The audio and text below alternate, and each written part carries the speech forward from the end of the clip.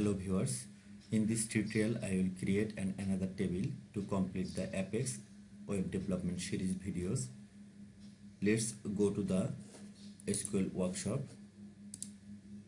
select object browser.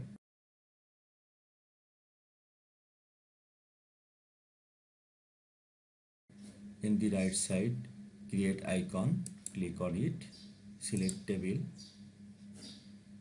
table name my table name is course lecture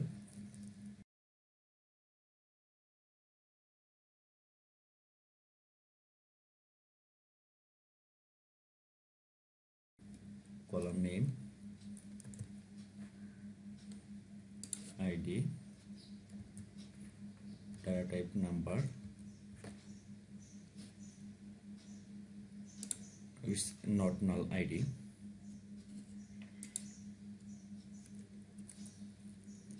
course ID number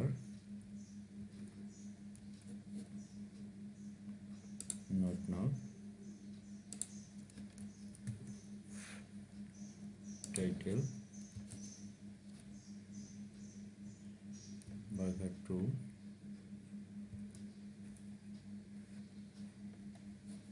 not null scale 200 description.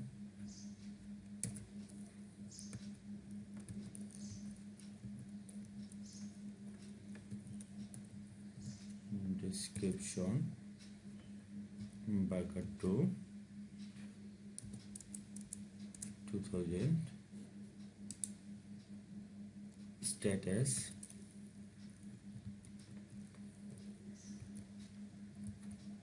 Burger 2 100 so not null. Click next. Primary key. Select the populated from a new sequence. The sequence primary key constant name. Automatically the name is populated here. I will select here the column that will be the primary key id and populated sequence is this is the populated sequence. Click next. Here I will create a foreign key. Automatically the foreign key name course lecture underscore fk select the keys. I will declare here the course ID is foreign key references table my references table is course table and referenced column id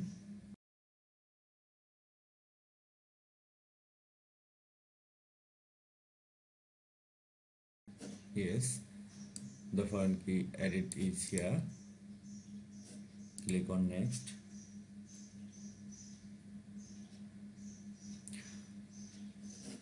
another constant type. I want not to give in mm, no other more constant. Skip it. Next. Click create table.